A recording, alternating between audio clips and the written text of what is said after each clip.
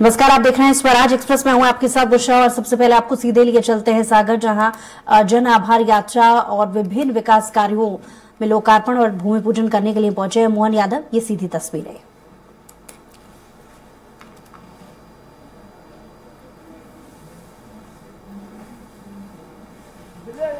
में कभी इस बात के लिए कोई छोटा मन नहीं करता है। हमारे यहाँ ये व्यवस्था नहीं है, हमारे यहाँ वो व्यवस्था नहीं है क्योंकि जो व्यवस्था को भीख में मांगते वो कोई और होंगे, वो बुंदेले नहीं हो सकते, मैं इस बात की गारंटी ले सकता हूँ।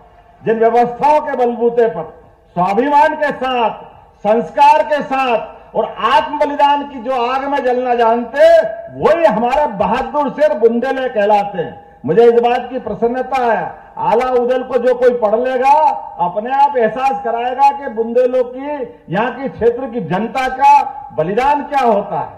उनके अंदर आग कैसे होती है? वो अपने उद्देश्यों के लिए जीते कैसे हैं? मुझे इस बात की प्रसन्नता है यशस्वी प्रधानमंत्री का अभिनंदन करें। बिना रिफाइनरी के माध्यम से उन्होंने रोज़गार की भी बड़ी संभावना का चालू की तो सबसे बड़ी सौगात पचास हज़ार करोड़ की आपके इस बुंदेलखंड के अंदर दी इसी सागर ज़िले के बिना रिफाइनरी के माध्यम से। और एक नहीं, दूसरी सौगात यशस्वी प्रधानमंत्री के साथ यशस्वी पूर्व मुख्यमंत्री के लिए भी अभिनंदन करें शिवराज सिंह चौहान जी के माध्यम से, जिनने केन बेतवा का बड़ा निर्णय कराया। मुझे इस बात की प्रसन्नता है, केन बेतवा के माध्यम से। बुंदेलखंड की धरती भी पंजाब को पीछे छोड़ेगी, लहलहा के फ़सल के माध्यम से अपना मार्ग खुद बनाएगी, जिसके माध्यम से बड़े पैमाने पर रोज़गार की जो कमी होती थी, स्वरोजगार की अपनी खुद की खेती हरी भरी करके अपना रास्ता खुद बनाएँगे। मैं इस बात के लिए प्रसन्नता और आनंद के साथ रहता हूँ कि अपने इस क्षेत्र में, आज के इस अवसर पर, यहाँ पर लगभग 100 करोड़ की लागत से, संत शिरोमणि रविदास जी के मंदिर का भी यही भूमि पूजन हुआ यह भी सौभाग्यशाली धरती है। रविदास जी वो व्यक्ति है, जिन्हें जीवन के कितने प्रकार के पाठ पढ़ाए। जीवन में वो भी उस दौर में जब रविदास जी को जीवन, उनकी अपनी जीवन पद्धति और उनका व्यवसाय कई प्रश्न उठाते थे लोग उस समय। लेकिन अपने परमात्मा पे विश्वास करके, सनातन संस्कृति को धन्य करने के लिए कोई संत आगे बढ़े तो वाकई रविदास जी को नमन करने की ज़रूरत है। आज के इस दौर में वो विचार आज भी पूजनीय है। रविदास जी का विचार ये छोटा मोटा नहीं है। हरि का भजे सो हरि का हो, जात पात पूछे न कोई। कितना उदात्त विचार। छोटा मोटा विचार है क्या? हमारे समाज को फूट डालने के आधार पर अंग्रेज़ों से लेकर कई लोगों ने ऐसे ही षड्यंत्रों के बलबूते पर समाज को लड़ाते लड़ाते पता नहीं कितने कष्ट दिए। ऐसे कठिन काल में भी रविदास जी ने वो उदात्त भावना अपने पास रखी और ऐसे कई शिष्यों की मालिका खड़ी करी। जिसके भरोसे उन्होंने परमात्मा में विश्वास करने के लिए अपने उद्देश्य के ले आगे बढ़े।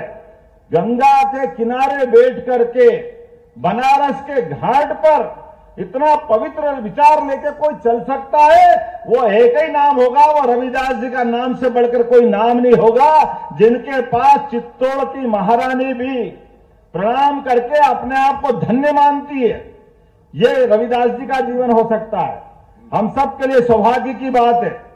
आज के इस अवसर पर यहीं पर एक और जानकारी देना चाहूँगा। यहाँ पर लवकुश भगवान का मंदिर भी 10 करोड़ की लागत से बनने वाला है, ये भी हमारे लिए सौभाग्य की बात ऐसे कई कई कारणों से सरकार तो बनती है, सरकार बनना भी चाहिए, लेकिन सरकार और सरकार में फ़र्क कैसा होता है ये हमारी भारतीय जनता पार्टी की सरकार और अन्य सरकारों की तुलना करके देखा जा सकता है। माननीय यशस्वी प्रधानमंत्री के नेतृत्व में डबल इंजन की सरकार सरकार के बलबूते पे होने वाले काम और काम के जो धमक बनती है, वो धमक को बताने की ज़रूरत नहीं है। एक ऑर्डर करा और पच्चीस हज़ार माइक जमा हो गए, आपको ध्यान में आएगा, दूसरी बार हिम्मत नहीं पड़ी, दूसरी बार बोलने की ज़रूरत भी नहीं पड़ी। ये जो अपनी अंदर की व्यवस्था है, आज जैन समाज से लगाकर कई लोग इसका अभिनंदन कर रहे थे। तो वाकई वो मेरा अभिनंदन नहीं है, वो भारतीय जनता पार्टी के निर्णय का अभिनंदन है। हमारे यहाँ सभी के कानून है। ध्वनि प्रदूषण कानून भी है। उसका पालन करना हम सबकी जवाबदारी। हम इस देश के अंदर सभी धर्मों को लेकर चलना जानते हैं, सभी धर्मों का सम्मान करते हैं। लेकिन मेरे कारण से आप परेशान हो, इस बात को कोई सरकार परेशान होने के लिए या सरकार उसको रोकना चाहती है। मैं आज के अवसर पर, एक तो आपने जो मांग रखी शैलेंद्र भाई, हमारे गोविंद भैया, बीडी जी, सबने कहा है कि यहाँ पर स्टेट यूनिवर्सिटी की ज़रूरत है तो हमने कहा इसी साल जून से यहाँ विश्वविद्यालय की स्थापना करने की घोषणा करते हैं।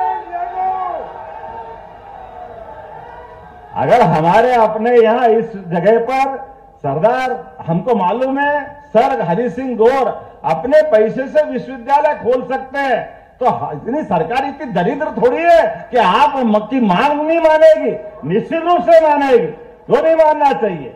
और इसकी व्यवस्था भी, हमारे अपने लिए अभी कोई भवन तैयार होगा, उसी भवन में इसी सत्र से विश्वविद्यालय प्रारंभ कर दिया जाएगा। इसके साथ साथ उद्योग के लिए भी बहुत जल्दी बुंदेलखंड पैकेज लेकर के इसी संभाग के अंदर उद्योग की बड़ी बैठक करके, बड़े पैमाने पर उद्योगों की भी मालिका तैयार करेगा, जिसके माध्यम से उद्योगों के आधार पर लोगों को रोज़गार मिलेगा।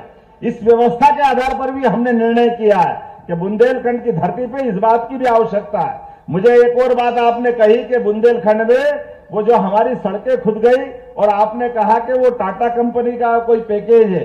हमने कहा, कोई कंपनी ने एग्रीमेंट किया है तो हम तो उससे जब तक पाई पाई वसूल नहीं कर ले, ये सरकार चुप नहीं बैठेगी 25 करोड़ रुपए उससे वसूल करके निश्चित रूप से आपके इस सागर के लिए, जो सड़कों के लिए खुद ही उसको देने का एस्टीमेट बनाया।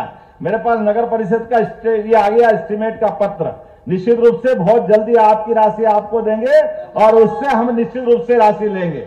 आज के अवसर पर वैसे तो बहुत सारी बातें थी, लेकिन समय कम पड़ गया। सबसे पहले तो मैं हाथ, दोनों हाथ जोड़कर आपसे माफ़ी चाहता हूँ कि आने का समय जल्दी था, लेकिन देरी से आया। लेकिन आने के बाद हमने अपनी एक नियम बनाया कि आने के क्रम में हमारे अपने प्रशासनिक लेवल पर जो हमारे लॉ एंड ऑर्डर की मीटिंग हो, प्रशासन के ज़रिए